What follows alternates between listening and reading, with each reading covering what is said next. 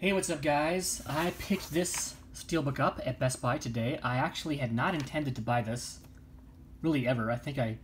Do I still have the, the, the Blu-ray? I think I might have the Blu-ray somewhere. Doesn't matter, I guess, but um, I don't need the 4K, so I had no intention. But I did want a Steelbook. The only Steelbook version I was aware of was, was the... um that they re previously released of the regular Blu-ray version was just like the um, those comic book ones that I don't like, that I have a couple of, but I don't care for them. Um, so I decided to buy this one. It was $17.99 at Best Buy, and I had a $5 reward zone coupon, so it made it, what, $12.99, so that was a little easier to swallow. Get this thing off here. I like that they do just a single a single piece of glue. I almost said gum. Not gum.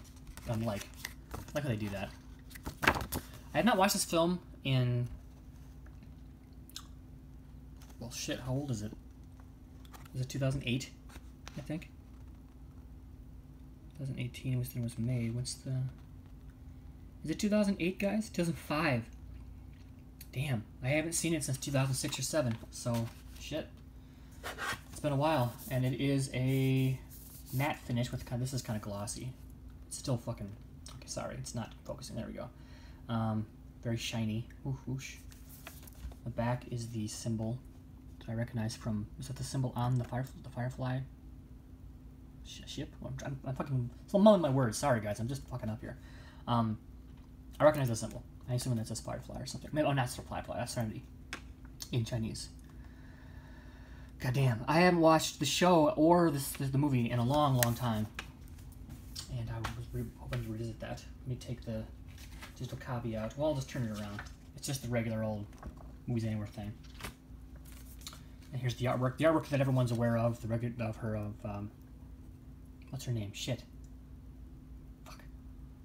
Damn, I don't remember. Summer. Well, Summer Glau. That's the name of the actress. What's the name of the? Fuck. Whatever. I'm gonna get shit for that. anyway, here's the 4K that I'm gonna do nothing with, I guess. I don't have a 4K player. Here's the Blu-ray, which is what I'll watch. This is the exact same Blu-ray that was released like two or three times before, so I don't think there's a new like version. It's the same. And there's that image of the cast, and then the symbol again. Fairly plain, fairly standard. Um, Universal released a bunch of these. Um, well, not a bunch. They used several. Uh, this, the game, on 4K. Um, Blues Brothers, maybe? I'm not sure. Hmm. Well, just some steelbooks recently. I think I released. I already unboxed the Blues Brothers at some point. But anyway, so that's all of that. Let's put this in here. And then this, of course, like I say, I always keep these because I like to do that, keep the information. 4K. One of these days I might buy a 4K player. I mean, I said I won't do it out of spite, but I probably will at some point. But at the moment, I'm not gonna. Because of money. So yeah, that's it. Let's see if it stands up. Cool. So yeah, that's it, guys. Very simple, very quick unboxing. Um, Serenity is a good film. Like I said, I haven't seen it in a long time, so I'm looking forward to watching that. I'm sure I won't watch it forever, like I just buy things, put them on my shelf because that's just what I do.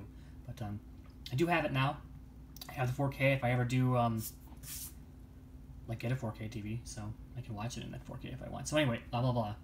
Thanks for watching, guys, and I will see you again in the future with more Steelbook unboxings and all that kinds of shit. So thank you for watching, and I'll see you later. Bye.